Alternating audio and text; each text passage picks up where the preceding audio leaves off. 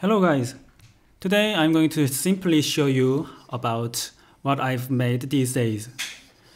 Here are two Dynamixels which have a lot of nice functions. Dynamixel is made by a famous robot company named Robotis from South Korea.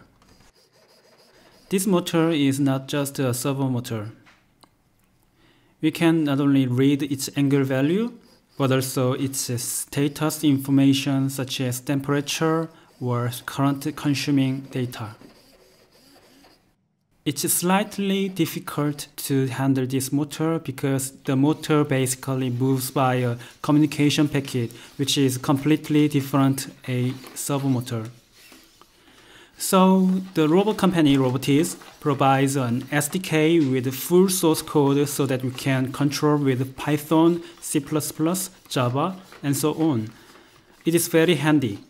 Once you learn about the ROS, aka Robot Operating System, you may love this company and this product because it is connected with limitless possibility.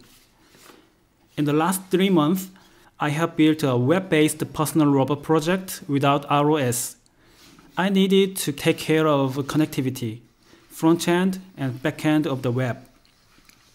I've spent a lot of time and energy in the project.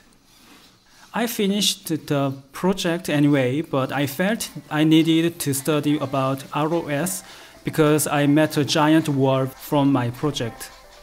So I'm learning about ROS. This is the first example I made. Let me explain about the detail.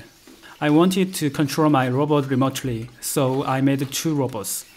One robot is for getting the pose, the other is for following the pose, and I also used the Raspberry Pi for each robot.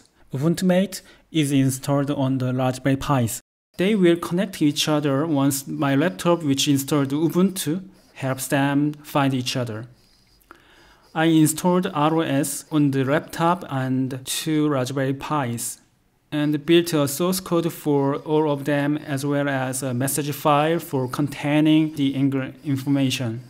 All the Raspberry Pi and my PC is connected with the same Wi-Fi router.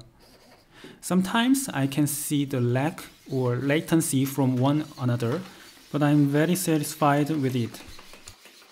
As I have built this project with ROS, I'm excited to imagine about what I can do next, because the ROS gives me countless possibilities.